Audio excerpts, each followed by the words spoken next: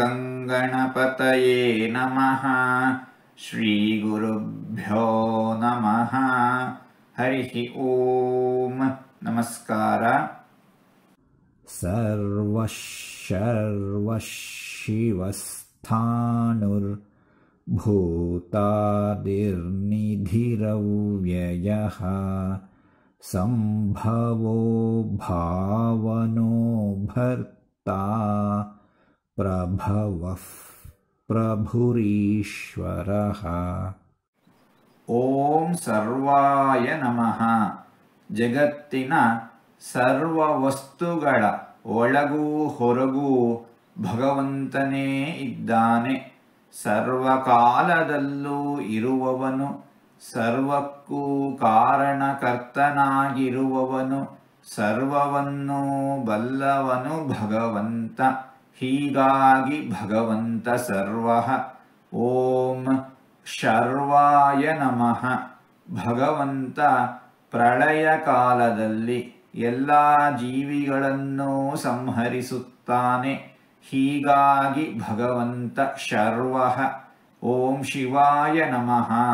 ತನ್ನ ನಾಮವನ್ನು ಸ್ಮರಿಸಿದ ಮಾತ್ರದಿಂದ ಸ್ಮರಿಸಿದವರನ್ನು ಪವಿತ್ರಗೊಳಿಸುತ್ತಾನೆ ಭಗವಂತ ಹೀಗಾಗಿ ಭಗವಂತ ಶಿವ ಓಂ ಸ್ಥಾಣವೇ ನಮಃ ಅಚಲವಾದ ದೃಢವಾದ ಸತ್ಯವಾದ ಸಂಕಲ್ಪ ಭಗವಂತನದ್ದು ಜಗತ್ತಿನ ಯಾವುದೇ ಶಕ್ತಿಗೂ ಅಭೇದ್ಯನಾದವನು ಭಗವಂತ ಹೀಗಾಗಿ ಭಗವಂತ ಸ್ಥಾಣು ಓಂ ಭೂತಾದಯೇ ನಮಃ ಎಲ್ಲ ಸಜೀವ ನಿರ್ಜೀವ ವಸ್ತುಗಳ ಪಂಚಭೂತಗಳ ವಿಶ್ವದ ಎಲ್ಲದರ ಆದಿ ಭಗವಂತ ಸಮಸ್ತ ವಸ್ತುಗಳ ಆದಿ ಕಾರಣ ಭಗವಂತ ಹೀಗಾಗಿ ಭಗವಂತ ಭೂತಾದಿ ಓಂ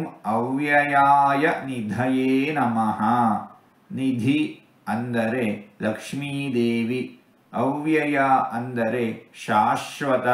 ಲಕ್ಷ್ಮೀನಾರಾಯಣರಿಗೆ ವಿಯೋಗವಿಲ್ಲ. ಎಂದೆಂದಿಗೂ ಅವರು ಜೊತೆಯಾಗಿಯೇ ಇರುತ್ತಾರೆ. ಹೀಗಾಗಿ ಭಗವಂತ ನಿಧಿರವ್ಯಯ. ಓಂ ಸಂಭವಾಯ ನಮಃ. ಸದಾ ಶ್ರೇಷ್ಠನಾಗಿಯೇ ಇರುವ ಭಗವಂತ ತನ್ನ ಇಚ್ಛೆಗೆ ಅನುಸಾರವಾಗಿ ಅನೇಕ ಅವತಾರಗಳನ್ನು ತಾಳುತ್ತಾನೆ. ಹೀಗಾಗಿ ಭಗವಂತ ಸಂಭವ. ಓಂ ಭಾವನಾಯ ನಮಃ. ಕರ್ಮಾನುಸಾರ, ಯೋಗ್ಯತಾನುಸಾರ, ಒಳ್ಳೆಯ ಕೆಲಸಗಳಿಗೆ, ಒಳ್ಳೆಯ ಫಲಗಳನ್ನು, ಕೆಟ್ಟ ಕೆಲಸಗಳಿಗೆ, ಕೆಟ್ಟ ಫಲಗಳನ್ನು ಕೊಡುವವನು ಭಗವಂತ. ಹೀಗಾಗಿ ಭಗವಂತ ಭಾವನಃ ಓಂ ಭರ್ತ್ರೇ ನಮಃ ಭಗವಂತ ಎಲ್ಲವನ್ನೂ ಸಮಸ್ತವನ್ನು ವಿಶ್ವವನ್ನು ಹೊತ್ತಿದ್ದಾನೆ ಹೀಗಾಗಿ ಭಗವಂತ ಭರ್ತಾ ಓಂ ಪ್ರಭವಾಯ ನಮಃ ಪ್ರಕೃಷ್ಟವಾದ ದಿವ್ಯವಾದ ಅದ್ಭುತವಾದ ವಿಶಿಷ್ಟವಾದ ಮತ್ಸ್ಯ, ಕೂರ್ಮ, ವರಾಹ, ನಾರಸಿಂಹ ಇತ್ಯಾದಿ ಅವತಾರಗಳನ್ನು ತಾಳಿದವನು ಭಗವಂತ. ಹೀಗಾಗಿ ಭಗವಂತ ಪ್ರಭವ. ಓಂ ಪ್ರಭವೇ ನಮಃ. ಭಗವಂತ ಸರ್ವಸಮರ್ಥ. ಆದ್ದರಿಂದ ಎಲ್ಲರ ಪ್ರಭು ಭಗವಂತ.